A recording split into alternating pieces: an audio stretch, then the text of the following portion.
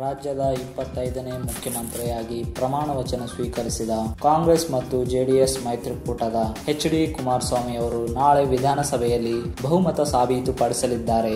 Congress, JDS ಮೈತ್ರಿಕೂಟದ ನಾಯಕರಾಗಿ ಮುಖ್ಯಮಂತ್ರಿ ಗದ್ದುಗೆ ಏರಿರುವ ಕುಮಾರಸ್ವಾಮಿ ಅವರಿಗೆ ರಾಜ್ಯಪಾಲರು ಬಹುಮತ ಸಾಬೀತಿಗೆ ಹದಿನೈದು ದಿನಗಳ ಕಾಲಾವಕಾಶ ನೀಡಿದ್ದರು. ಅದರಂತೆ ಸಿಎಂ ಕುಮಾರಸ್ವಾಮಿ ಅವರು ನಾಳೆ ನಡೆಯಲಿರುವ ವಿಧಾನಸಭೆಯ ಅಧಿವೇಶನದಲ್ಲಿ ಬಹುಮತ ಸಾಬೀತುಪಡಿಸಲು ತೀರ್ಮಾನಿಸಿದ್ದಾರೆ.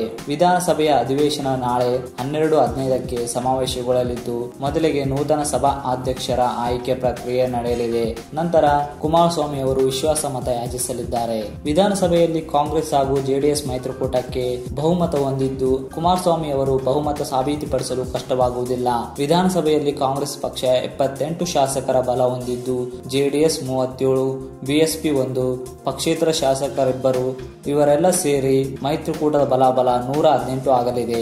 ಒಟ್ಟು ಎರಡ್ನೂರ ಇಪ್ಪತ್ನಾಲ್ಕು ವಿಧಾನಸಭಾ ಕ್ಷೇತ್ರಗಳ ಪೈಕಿ ಎರಡ್ನೂರ ಇಪ್ಪತ್ತೆರಡು ವಿಧಾನಸಭಾ ಕ್ಷೇತ್ರಗಳಿಗೆ ಚುನಾವಣೆ ನಡೆದಿದ್ದು, ಬಹುಮತಕ್ಕೆ ನೂರ ಹನ್ನೊಂದು ಮ್ಯಾಜಿಕ್ ನಂಬರ್ ಅಗತ್ಯವಿದೆ. ಬಹುಮತಕ್ಕೆ ಅಗತ್ಯವಿರುವ ಮ್ಯಾಜಿಕ್ ಸಂಖ್ಯೆಯಲ್ಲಿರುವ ಹೆಚ್ಚಿನ ಶಾಸಕರ ಬಲ ಇರುವುದರಿಂದ ಮುಖ್ಯಮಂತ್ರಿ ಕುಮಾರಸ್ವಾಮಿ ಅವರು ಬಹುಮತ ಸಾಬೀತು ಪರೀಕ್ಷೆಯಲ್ಲಿ ಯಶಸ್ವಿಯಾಗುವುದು ಬಹುತೇಕ ಖಚಿತ ಎನ್ನಲಾಗಿದೆ. ಈ ಬಾರಿ ವಿಧಾನಸಭಾ ಚುನಾವಣೆಯಲ್ಲಿ ಬಿಜೆಪಿ ನೂರ ನಾಲ್ಕು ಸ್ಥಾನಗಳನ್ನೊಂದಿಗೆ ಅತಿ ದೊಡ್ಡ ಪಕ್ಷವಾಗಿ ಹೊರಹೊಮ್ಮಿತ್ತು.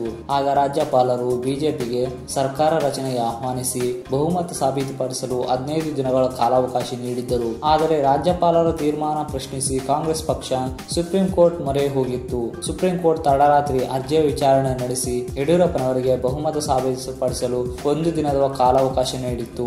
ಅದರಂತೆ ಮೇ ಹತ್ತೊಂಬತ್ತರಂದು ನಡೆದ ಅಧಿವೇಶನದಲ್ಲಿ ಯಡಿಯೂರಪ್ಪ ಬಹುಮತ ಸಾಬೀತುಪಡಿಸುವ ಮೊದಲೇ ರಾಜೀನಾಮೆ ನೀಡಿ ನಿರ್ಗಮಿಸಿದರು. ನಂತರ ರಾಜ್ಯಪಾಲರು ಕಾಂಗ್ರೆಸ್ ಜೆಡಿಎಸ್ ಮೈತ್ರಿಕೂಟದ ಕುಮಾರಸ್ವಾಮಿ ಅವರಿಗೆ ಸರ್ಕಾರ ರಚನೆಗೆ ಆಹ್ವಾನ ನೀಡಿದರು. ಬುಧವಾರ ಸಂಜೆಯಷ್ಟೇ ಕುಮಾರಸ್ವಾಮಿ ಮುಖ್ಯಮಂತ್ರಿಯಾಗಿ ಪ್ರಮಾಣ ವಚನ ಸ್ವೀಕರಿಸಿದರು.